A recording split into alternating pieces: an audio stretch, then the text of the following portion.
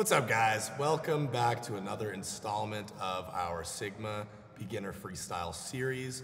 Today, we are tying up the three steps of the power phase. We've talked about the catch, we've talked about the true power phase or the pull, the underneath portion. Today, we are talking about the finish of the stroke or the end of the stroke. Jumping right in, the first thing you want to think about is finishing all the way to your hips. Some people like to say as if you were putting your hands in your pockets.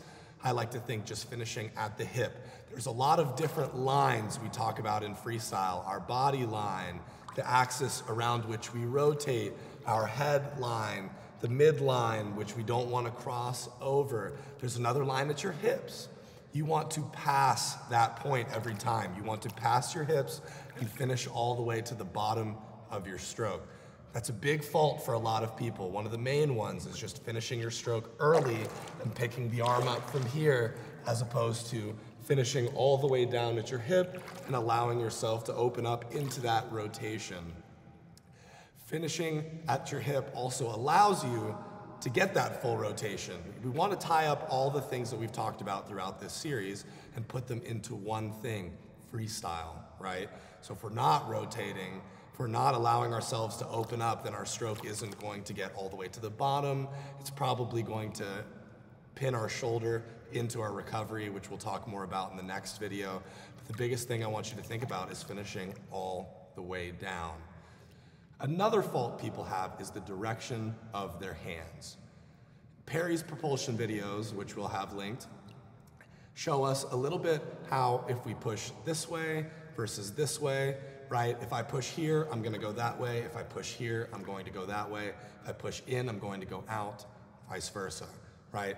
Focusing on your hand placement. For the finish of the stroke, you wanna have your palm facing the wall behind you as long as possible because we're trying to move forward. If I was trying to come at the camera, I would want to push behind me, right? So keeping that hand placement, you wanna think about following that line Palm is facing all the way back. I'll do it again on the surface just for you guys to be able to see. Palm is facing backwards all the way to the end. My wrist breaks. I finish my stroke and then I can get into my recovery. So keeping that hand facing the back wall is going to be really important to our propulsion going forward. If you push outward, you're going to see it because you might swerve in the lane and it's going to be a little bit more difficult. All these things tie up. Another great thing, if you haven't seen the breathing video, make sure to go check it. But we've talked about very briefly during the breathing video that you want to get that power breath at the end of your stroke. Well, now that we're working on the finish, you have a reference point. Once you get to the end of your stroke and you're finishing at your hips, you get that powerful exhale. And then as you get into your recovery, you start your inhale process. Focusing on that power breath, you want to think about breathing at the end of your stroke. We talked about it Powerful exhale here, so that when my face starts peeking out of the water, I can start my inhale into my recovery. Once again, pulling through, hands facing the back wall, head peeks out, getting my inhalation in. Thinking about all these things, right? We're building, we're putting together building blocks to try to create a greater thing, which is freestyle add all these things. If you have a little bit of trouble, go back and practice it a little bit more, and nothing can take the place of water time. So really focus on it, learn, learn your body, and get to understand what makes you go in your freestyle. Hopefully that helps. Drills are next. And so now moving on to the drills for working on getting a good finish past the hips. I'm here with Fred today. He's gonna be joining me and helping out with some of these drills. Continue to focus on finishing past your hips. We talked about hand in the pocket um, or the hip line. These are all great examples of ways that you can think about getting yourself to finish all the way to the end of your stroke with a good rotation. Now, the first drill we're gonna work on is called freestyle half scull. Everything is basically going to be from the ribs down.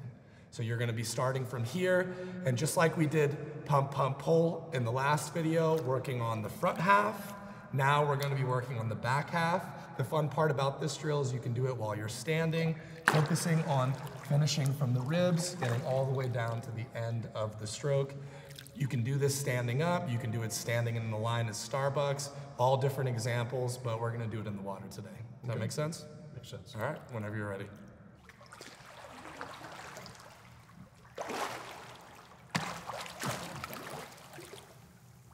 The big focus is not being so fixated on exactly how you get back up, but making sure to get all the way past the hips. This is also a great drill for butterfly because you're working on finishing all the way to the back. You can also do it with alternating arms to help implement that rotation. In the case of right now, we're just working on finishing past our hips and getting that full feel of the stroke. Awesome job. So now we're going to do the same drill with alternating arms. So as I was saying, the, the simultaneous arms is great for butterfly as well as freestyle, but to help implement some of that rotation, we're gonna do it with alternating arms. Whenever you're ready. This is gonna allow you to open up your chest both directions, finishing past your hip. It's almost like walking in the water, but you're horizontal. Really want to stay focused on finishing all the way to the back of the stroke, or else we're not getting the full breadth of the freestyle range.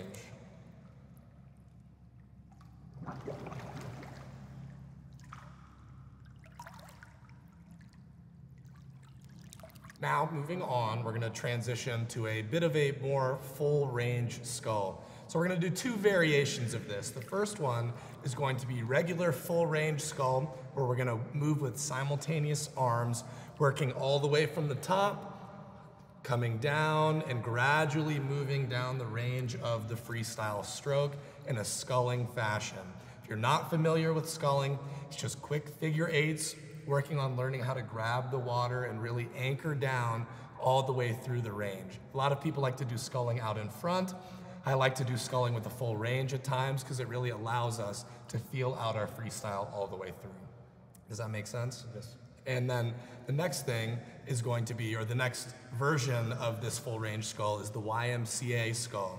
So unlike the full range where we're constantly moving down our body, the other variation is in stations. The Y up and up at the top of our stroke, the M with the high elbow, the C with the power diamond, and then the A finishing all the way past our hips. You can do either one. Either one is great opportunity to feel out your freestyle and really get a good anchor. We're gonna do both. Okay, sounds good? Ready. Awesome, whenever you're ready.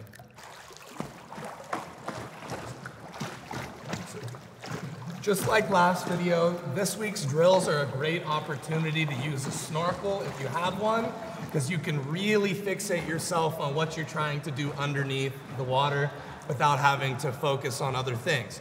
That being said, you need to continue to focus on getting a good catch, getting good rotation, and good breathing to have a good freestyle because we don't want to have to rely on a snorkel forever.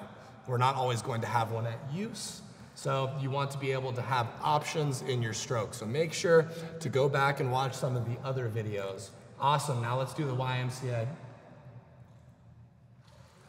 So like I said, the one difference between the two is the YMCA is in complete stations. You're working, you're working in the Y out in front of your body, the M with the high elbow, the C in the power diamond, and the A working all the way from the back of the hips. Don't worry so much about the recovery process. Just glide your hands back up to the top when you're ready to restart. And then really work the nice anchor. Y, then M, then C, then A. Now the last drill that we're going to be working on today is fishtail, which is just a variation of simple freestyle. Um, so the big focus is going to be exaggerating what happens at the end. So you, all you're going to do is at the end of your freestyle, simple freestyle, is really feel like you're flicking the water with your tricep. So really get all the way to the finish, getting a nice powerful finish of the stroke. The one caveat is, is I don't want you guys to be flicking with your wrist because doing that and flicking with the wrist can lead us into cranking up our elbow and a lot of discomfort during the recovery process, more of which we're gonna talk about in the next video. So at the end of this, do not flick with the wrist, but rather flick with the full forearm to the back of the stroke. Does that sound good? Got it. Awesome, whenever you're ready. You really want to get that powerful finish with your forearm. It's okay to exaggerate for this drill as long as, once again, we're not flicking with the wrist, but rather flicking with the entire forearm. We're getting the full power out of it. Nice job. Really push to the end of the stroke. If you want to graze your hip or graze your, your thigh with your thumb, that is just fine. Whatever allows you to finish all the way back. Awesome job. So now that we've finished the entire power phase, it's important for you to think about where we've come from.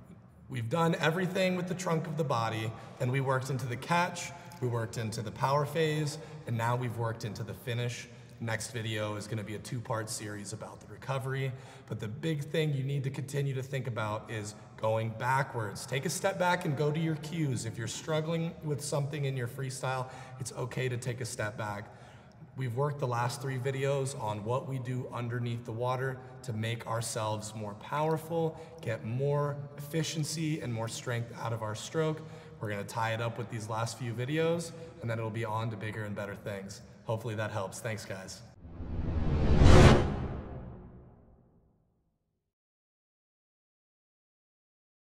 Thanks for watching today's video. If you liked it, be sure to subscribe, share, ring the bell, comment with any questions. If you're in the DFW area and you'd like more information on swim lessons or swim team, be sure to visit www.sigmaswim.org.